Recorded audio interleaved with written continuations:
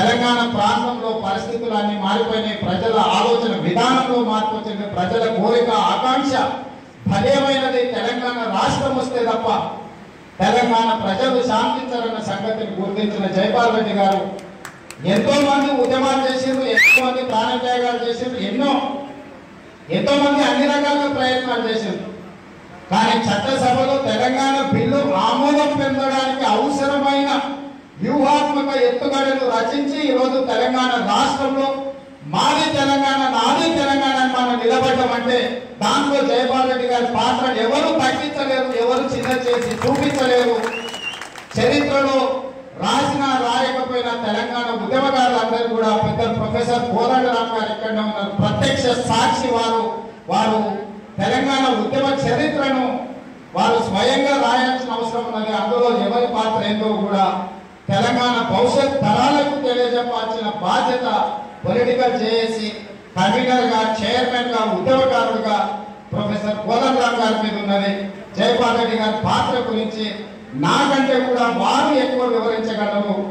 ఏ సందర్భంలో ఎలాంటి పరిస్థితుల్లో పార్లమెంట్లో తెలంగాణ బిల్లు పాస్ అయింది? ఆ తెలంగాణ బిల్లు పాస్ అయిన విషయంలో ఎట్టి పరిస్థితుల తెలంగాణ వద్దన్న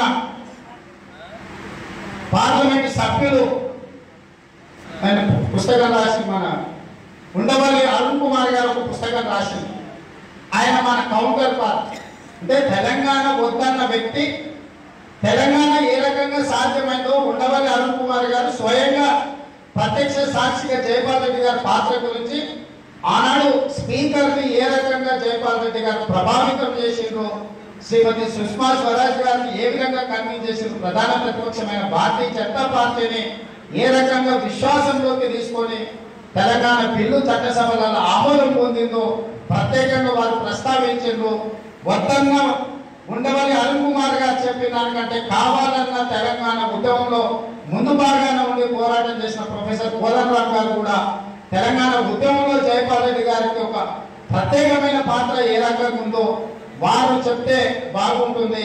వారి పాత్రను ఒక ప్రజాప్రతినిధిగా శాసనసభ్యుడిగా అన్నాడు. వారి పాత్ర నాకు తెలుసు నాకు అవగాహన ఉన్నది. ఈ రోజు మనం తెలంగాణ రాష్ట్రంలో నిలబడటం అంటే జయపాల్ రెడ్డి గారి పాత్రను అందరం కూడా గుర్తు చేసుకోవాల్సిన అవసరం ఉన్నది.